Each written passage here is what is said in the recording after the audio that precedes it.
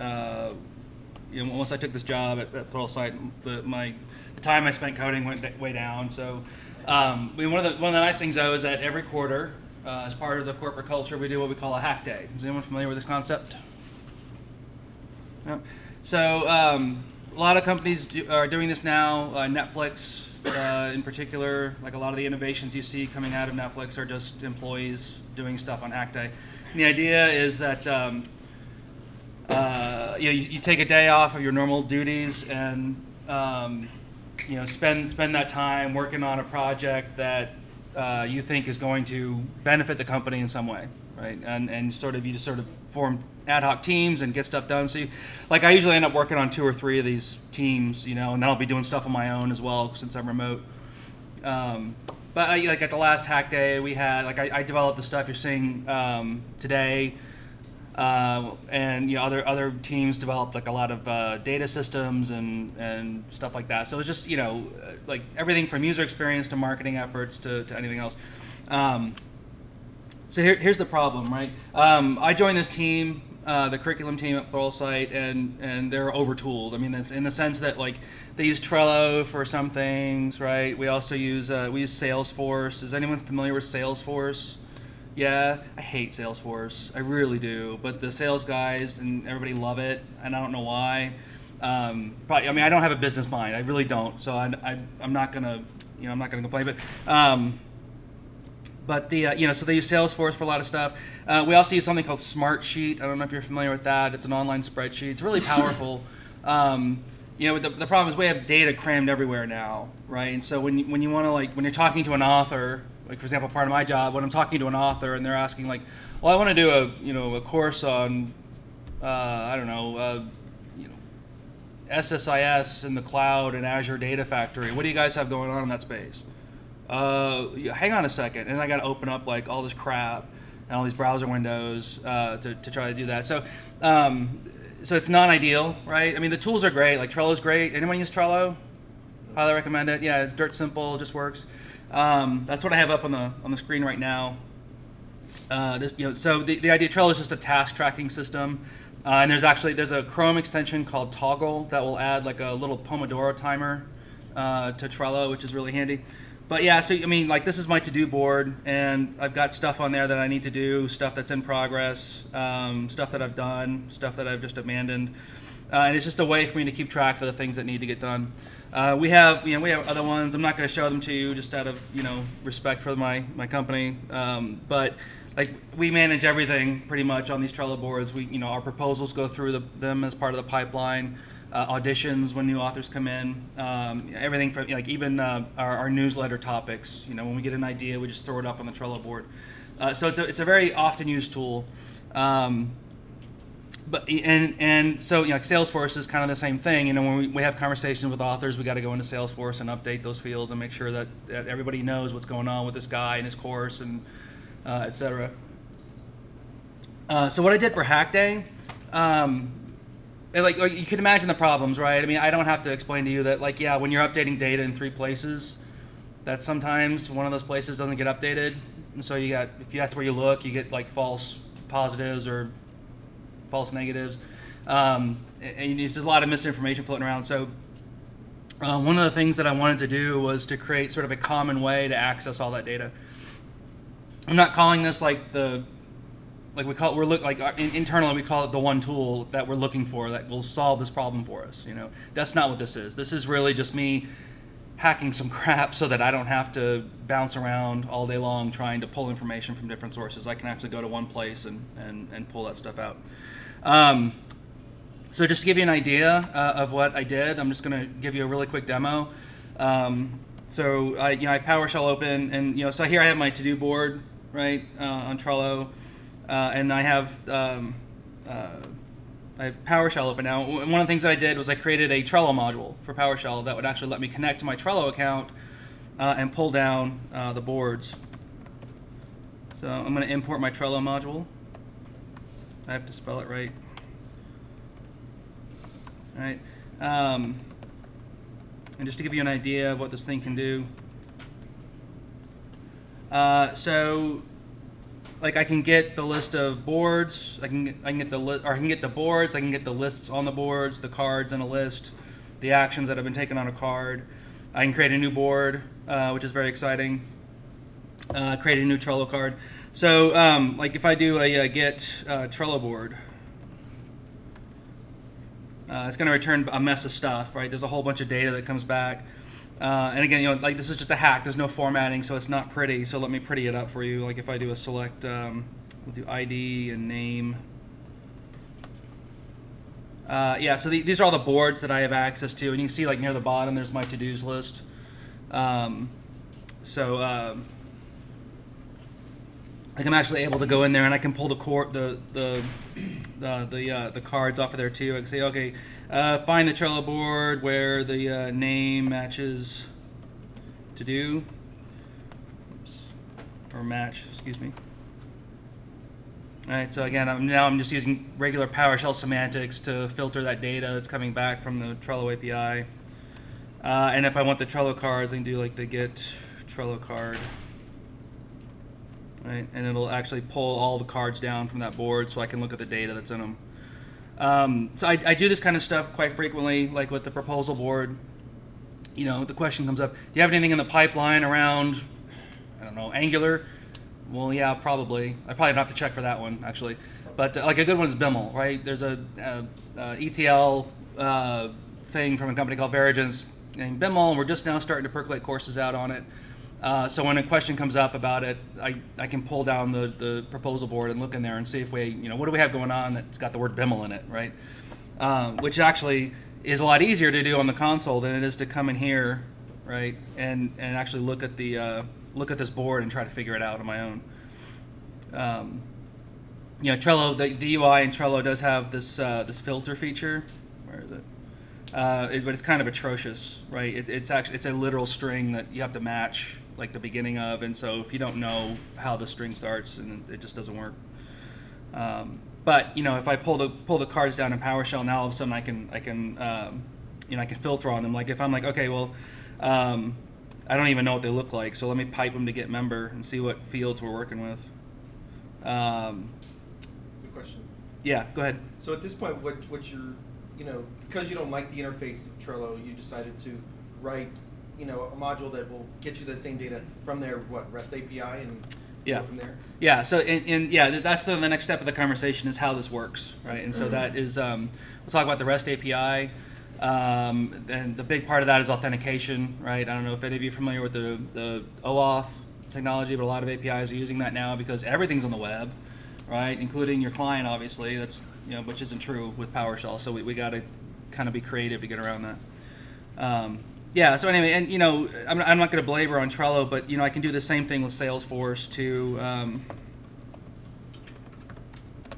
uh, and you know, I can search uh, Salesforce. Uh, let's see, what do I want? I want, um, we call them accounts. I want an account, and I'm going to filter the account where the name is like uh, Jim. And it should bring up me along with everybody else. But uh, you can see that it's actually trying to authenticate, and it's not going to because I, I forgot to do something. Um, but let me show you what that looks like too.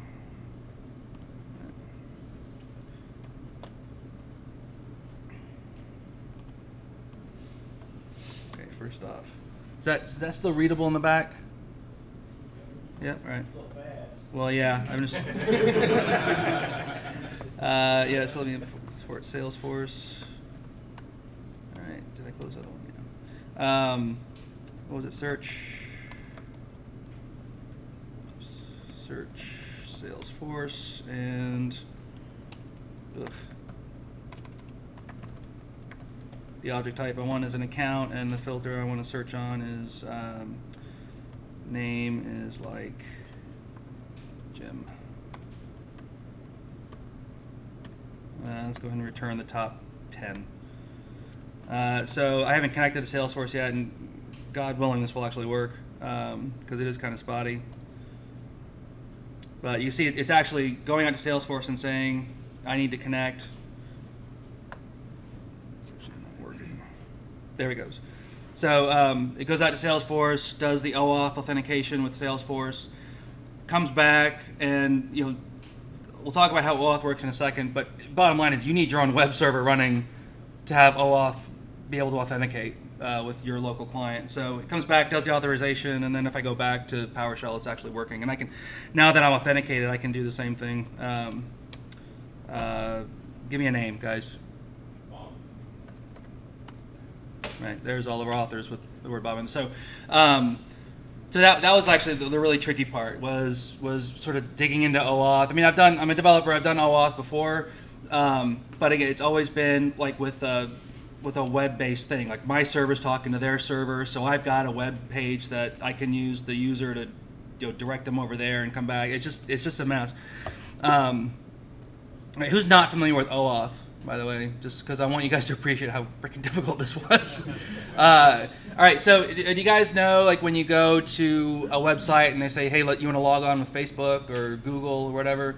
That's OAuth, basically. It, it's a way for um, it's a way for one web server to sort of pass your or, or receive credentials um, and identity information from another entity, another web server, and to do so in a secure fashion. And what it basically amounts to is configuration on both ends, right? So like when I when I, you know I can authenticate with Salesforce because I've gone into Salesforce and said I have this client that's going to authenticate with you.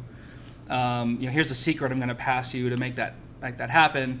And in response, Salesforce, you know, I, I've given it a URL to go back to to finish the authentication. So like there's this kind of like handshake between the two servers. Uh, they know how to talk to each other, right? Um, and again, you know, when you're in PowerShell, you don't have a web server that's just sitting there, uh, typically. So I had to I had to roll something. Um, right. So let's start looking at, at some code. Um, the uh, the Trello one's actually pretty easy. Let me open up the um, the Salesforce one.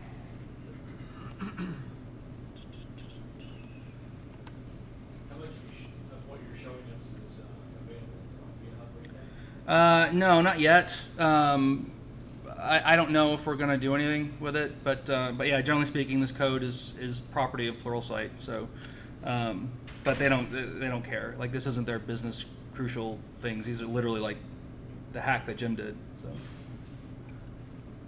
So, um, so let's talk about authentication first, right?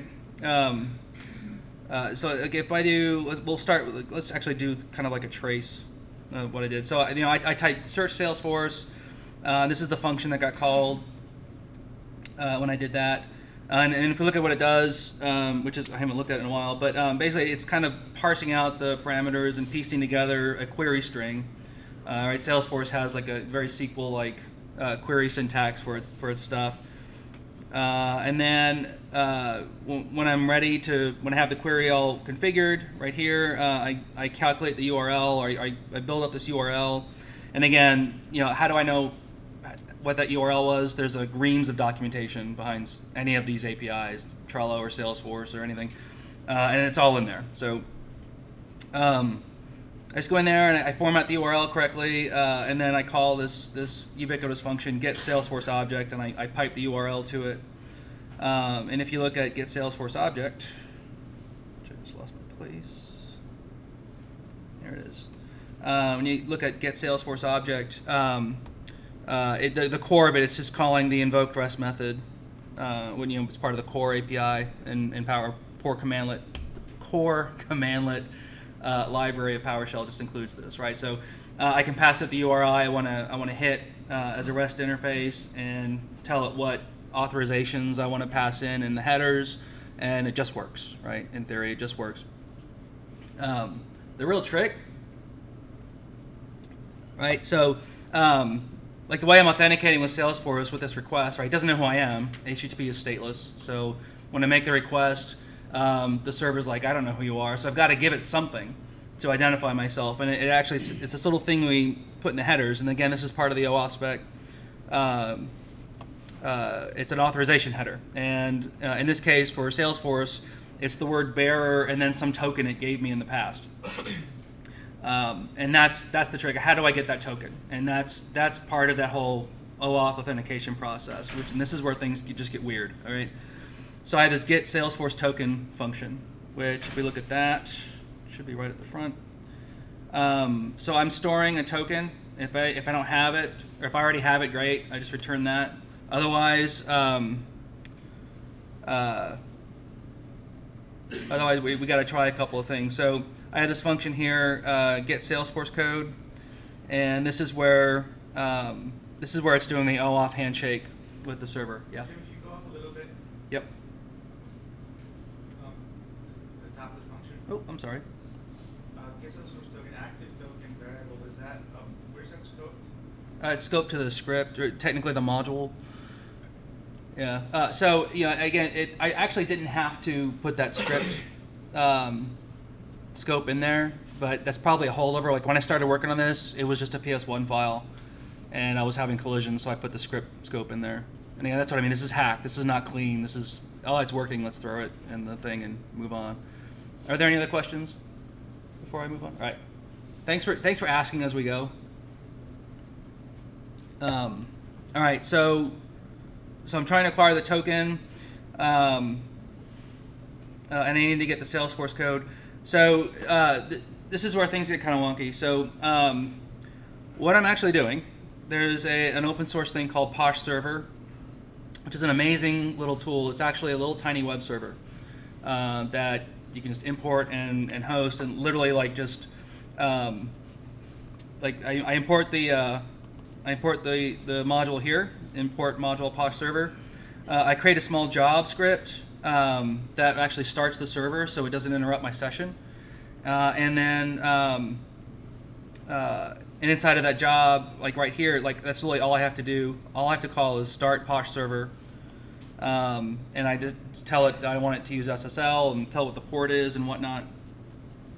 Uh, and then I tell it what, what's your home directory, like where do you live. Um, so one of the things that I, I want you to notice about, um, like this is the web page that Salesforce opened when I authenticated with it, right? And this URL that you see in the, the header, like literally, you know, go to https colon whack whack home port uh, 8898. That's configured. I configured that on Salesforce for my access token. I had to go in there and say, this is the URL I want you to use when I authenticate to return the token back to me. Uh, and if you look at the code in here, I'm actually opening the server and having it run on port 8898 using SSL, right? Uh, and the real trick is, is telling it, you know, there's this home directory I want you to use, which um, turns out to be uh, this folder. It's just a, it's one of my modules folders, yeah. Is that the server running within that session? Well, I run it as a job. Uh, let me put that code back up there. So, um, yeah, so I, uh, you know, that job script variable actually contains a script block that starts the server, right? But I haven't run the script block yet. In Uh, the script block, you got a couple of parameters. Where are you passing those parameters to the script block? right, right here. So, um, so one of the things that so I, I define the job script that I want to use to start the server, and then I need to gather the configuration data, which I do right here. So where where's the server live? Well, I, I you know what's the server's home directory? Uh, I basically figure out well where where's this Posh server module installed, uh, and then go to a, up a relative path to this folder, OAuth local server. Find that path. Like that's that's the folder I want you to use as home. All right. So once I find that, uh, then I'm able to start the job right here um, and tell it, you know, start the job with these two parameters, and, and it's actually the same value, but um, you know, the first one is the home directory, right? So server home dir gets passed in as home directory there, which is then passed to start Posh server in the job, um, right? So all of that mess literally is just to start this asynchronous web server um, on my local machine uh, that's based in that directory, right? Uh, any other questions about that before I before I dig a little further? Uh, so one, you know, the other thing I want you to notice is that inside of the, the address bar, the, the document it's opening is authorized.ps1, uh, which is a PowerShell script, right? Um, and technically, this is running on my local machine, and it's it's you know it's part of this Posh server context. And if I look at um, if I look at that folder that I'm pointing to as the home folder for Posh server, there's authorized.ps1. Uh, and if we look at it, it, it does very little, right?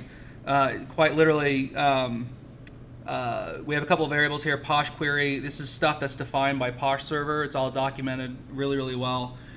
Uh, but, but basically, that the Posh query is coming in, uh, and I'm just pulling variables out of the, the HTTP request. Like in this case, it looks like the query string. Uh, I'm looking for a code variable in the query and a state. And if you look at the, uh, there's the code part of the query, and then somewhere down the line, actually, it's right there, is the state. All right, so I'm just pulling those things out of the request. Uh, and once I have the code, that's the piece that I need to finish the authentication. All right, so I, I actually write that out to a temporary file that uh, that I use in my session. And, and no, it's not encrypted. This is hack day. Okay, this is not um, uh, enterprise solution day. So um, yeah, so, so I, I write the code out to a file, uh, and then once I've done that, uh, I have all the pieces I need. Like that's all you have to do, right? Uh, and I have all the pieces I need that I can actually talk to the Salesforce server as Jim Christopher, right? so as I've authenticated, um, I've given my permission to use this client to Salesforce, and I've gotten the code back, and I'm ready to go. Right. So, um, so once I have that code, once I know it's on disk, um, let's see where to go.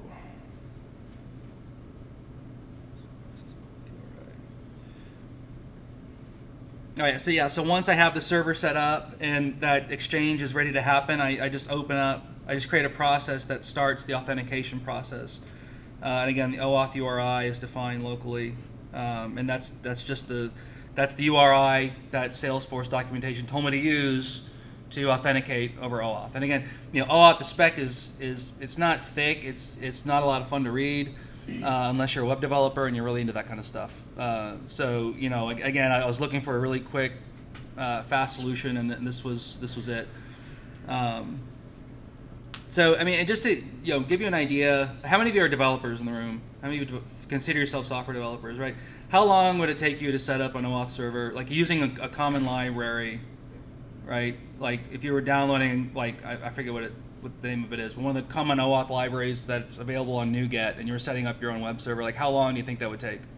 All right, let me let me rephrase it: uh, minutes, hours, days, weeks.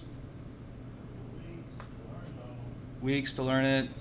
Yeah, which actually that that is true. Like understanding it's um, not a lot of it's, it's not easy.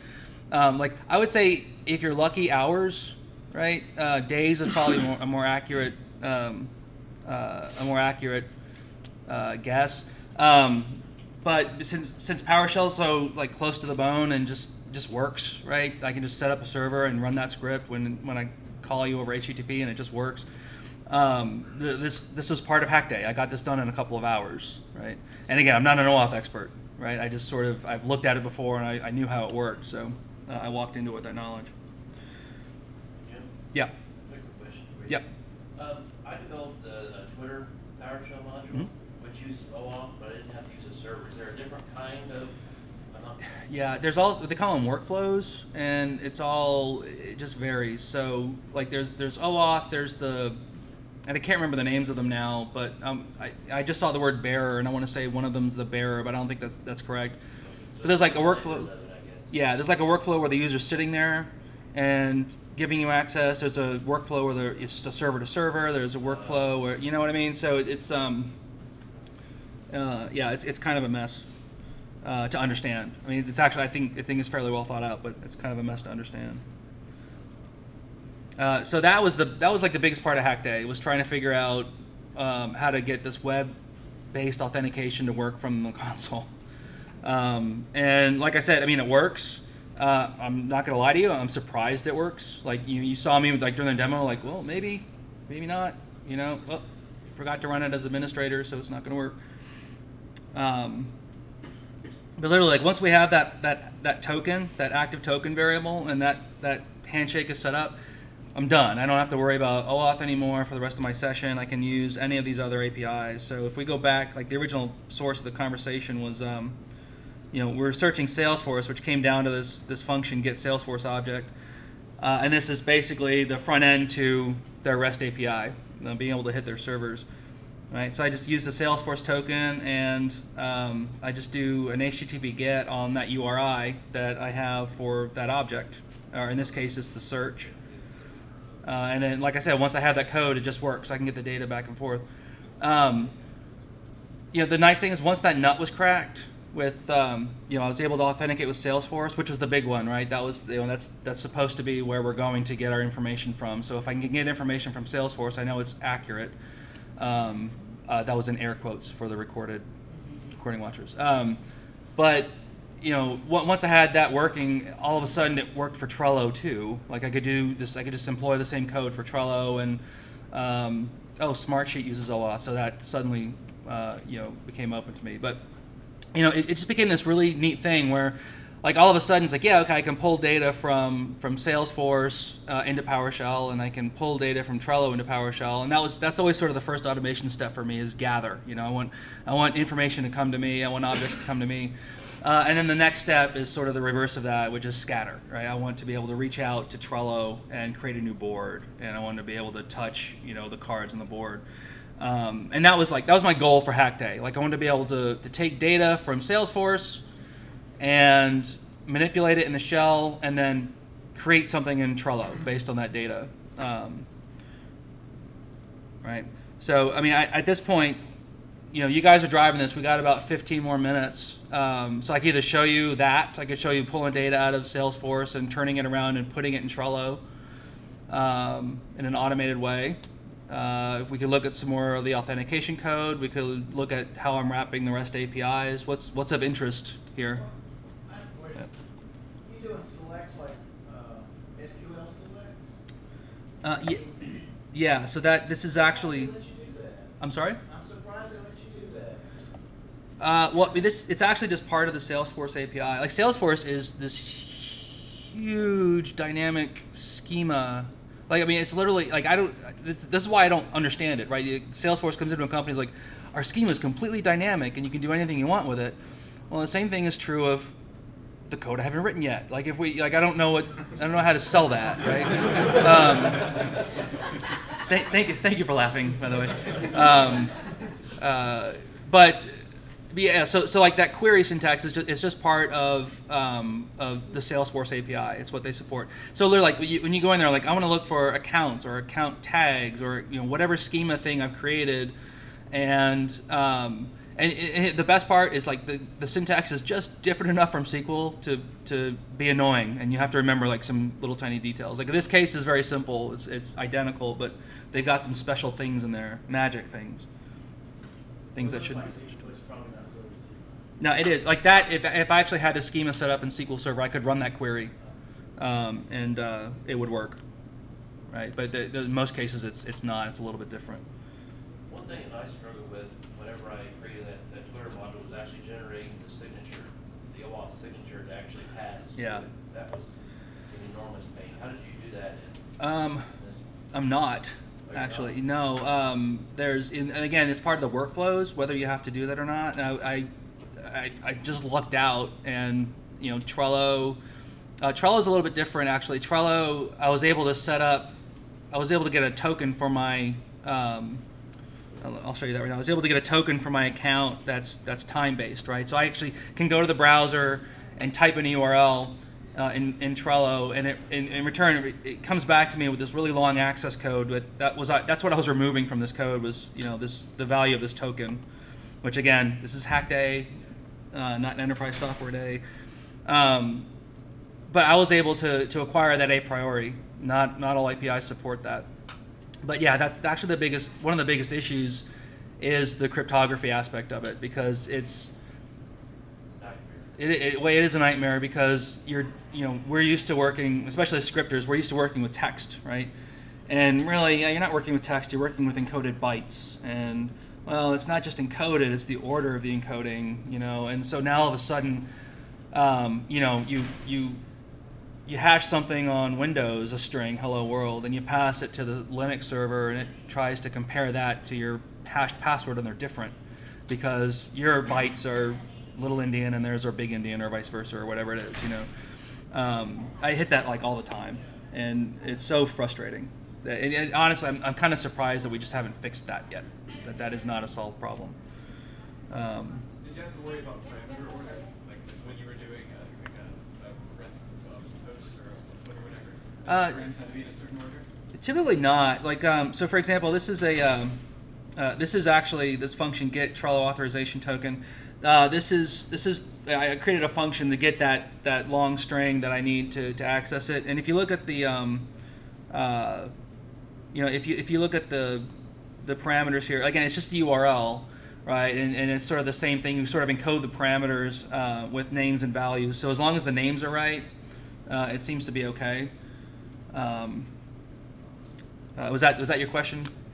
All right. Yeah. So and, and you know, most REST APIs are that way. It's, it's very rare that you have like an unnamed parameter in a, in a REST API. It's very they're very strict on the names. Um, but you can see like on Hackday, I actually thought, yeah, I should probably use the, the data protection API to secure that token that you can use to access all of my Trello data. Yeah. Just as a, as a quick uh, automation, in read host uh, at, at a, on its token line, could you just do um, get web request and read the URL? Read the token way? Uh, yes, I could. So, um, well, let's um, actually let, let's try this. So if I, yeah, don't look. By the way, I'm gonna have to change these now. I didn't realize these were in here. I'll have to change these now. Um, so I'm gonna define my app key, and then what I'm gonna do is um, gonna copy this URL. I'm just right now. I'm just verifying that all right, the app key got in there. Um, so like if I, what's actually happening, and, and the, the reason I, I don't do a web request, um, this is why, shoot. So what happens, well it's on the, it's on the clipboard now, right?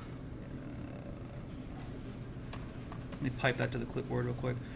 What actually happens when you go to that URL, uh, for Trello. And again, this is part. This is not sort of a standard workflow. This is this is something that Trello does uh, on its own. Um, it comes back with this. Like this is part of OAuth. Do you want to, do you want this to happen or not? Do you want to allow access or not? And I say yes, absolutely allow. Um, and instead of like delivering something that's machine readable, which is what normally happens in OAuth, sort of posts back to a URL. Uh, it just dumps this web page on me. Um, and uh, and the reason why is because like this token is not really um, it's not really in, like an official OAuth code in the sen- in the sense that it's just a it's an API access token that that Trello is using to um, to give me access for a certain period of time. Uh, so I actually have to copy that out either into my session or into the code. Like I probably go into the HTML and pull it out, but um, I just I opted not to do that. Um, again, I was trying to get like multiple things working, so I was trying to find a common ground. But where's the code? Um, let's see what else. What other questions you guys have? Uh, the REST API wrappers. Yep. So, um, yeah. So I mean, most part, like these days, it's really easy because you know PowerShell includes the invoke REST method. Like you know, when I, when I do when I call get Trello board, uh, literally what's happening is it's it's just invoking this URL, right? Um, and since I invoke REST method, it sort of looks at the headers that are coming back and figures out you know what what's the structure of the data. Is it XML? Is it JSON? And pulls out the necessary bits and makes them PowerShell objects that you can use on the pipeline. Um, uh, you know, the, the only interesting thing that happens really, um, I mean, it, you know, it's hard to do that when invoke REST method isn't there. There's a, there's actually quite a bit of, of stuff that has to happen uh, to get it working the same way. Um, Have you, have you encountered, uh, where the JSON that you return starts off with the JavaScript code with no error? So I've got a couple applications to do that, I, I can't use no REST method because it, it, it messes up the JSON. code. Oh, that's that's interesting. So like I, I've never seen that. So like they'll actually put in like a throw error at the start of the JSON just to keep someone from running it. I've never seen that, but um, that's very interesting.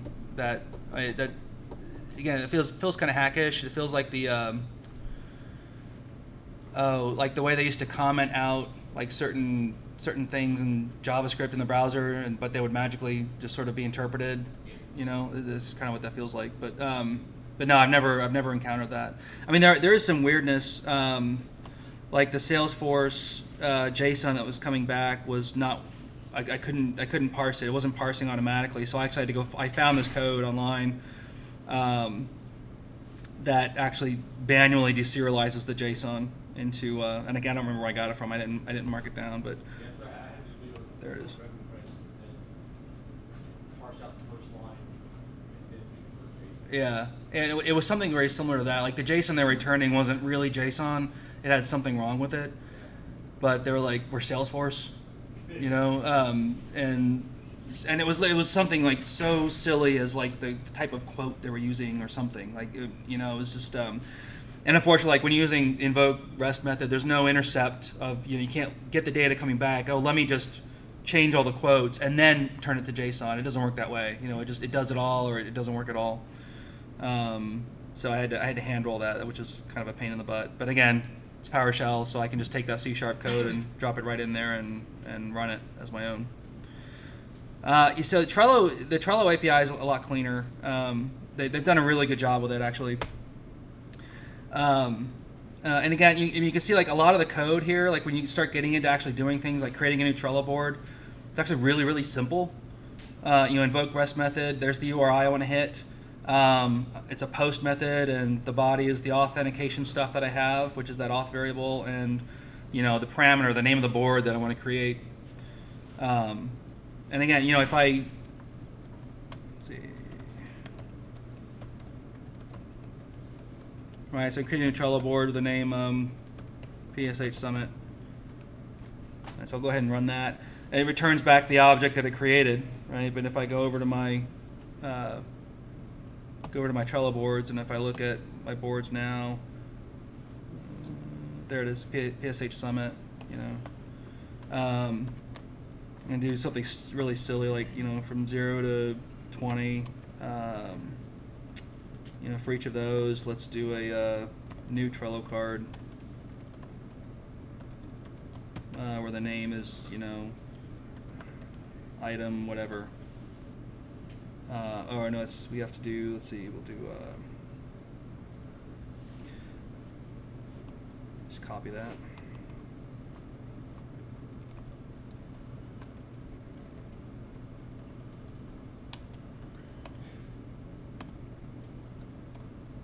Yep, that that wasn't right.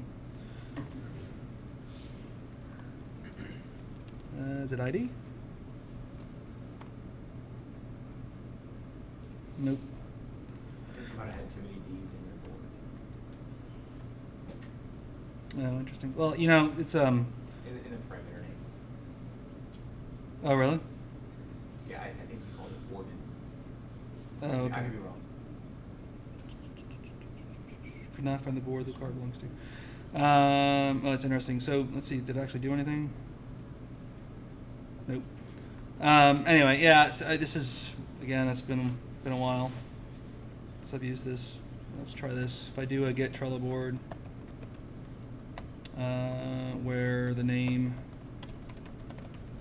matches PSH Summit. Yeah, so I found the board, and then now that I have the board, I want to create, um, do a new Trello card. Are you doing? Oh, God, thank you.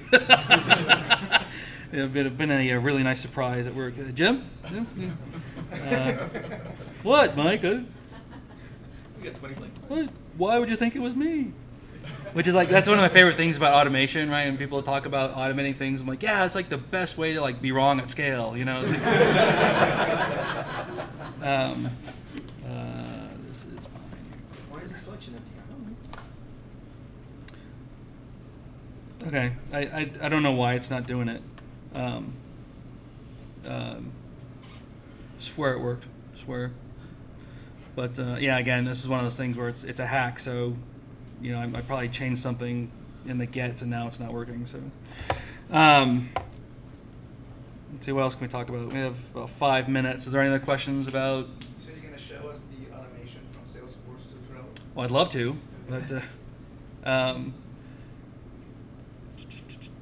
Well, in that hack world, you know, kind of hacky thing, you know, just the idea of, you know, Oh, I know why. building your own objects and integrating different systems. So you gotta, you know, creating your own custom object to get some data from here and put it there, and Yeah. you know, just the what are some kind of tips and tricks on trying to build that framework? Yeah, so like the big thing, um, like you, you'll get objects back.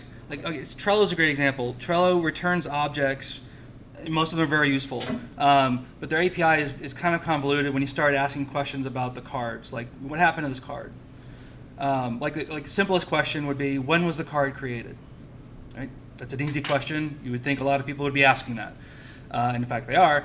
Um, and they're like, well, there's no field for that, but the data's in there. Um, and it's like literally like because we use Mongo, the ID for the card, the first eight characters. Like here, let me show you the code. Actually, the first eight characters uh, are actually. See, where is it? You know, the first eight characters are um, are actually the Unix encoded timestamp of the thing. So you could just pull that out and where's the actual definition? There. Yeah, that's exactly what this is. So they're like, you know, oh, we need the time the card was created. So instead of just giving you that data, uh, we're gonna tell you to go into the ID and parse out the first eight bytes or the first eight numbers, uh, which is a hexadecimal number, which is actually the Unix timestamp of when that card was created. See, easy, right? And like, why don't you just have a field in there that's like card created, you know? Um, so there's little things like that are really, really annoying.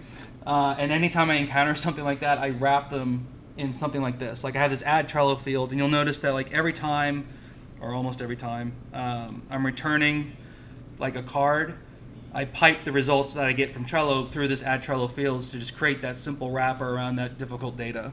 Uh, that and that's very common. Like once you have like the base structure working, like okay, I'm getting the objects back. Um, you start spending a lot of time just sort of growing the uh, the convenience functions, right? Um, because that's that's why we're doing this. Just go back down to that part. Yeah. Um, so do you have a question, or just wanted to see it? I just wanted to see. But yeah, which by the way, uh, I've written this this particular code like you know getting um getting a, a uh, like transferring like from a Unix timestamp to a date time. I've I've probably written that line of code like a hundred times. Yeah, is there not, is there not a date function for that? Uh, I don't think so. That not that I'm aware of.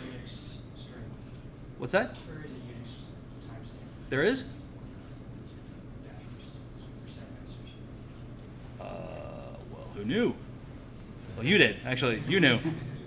So, uh, I've written it several times. All right, can you will you show me that later? Actually, all right, thanks. Start looking, because um, right.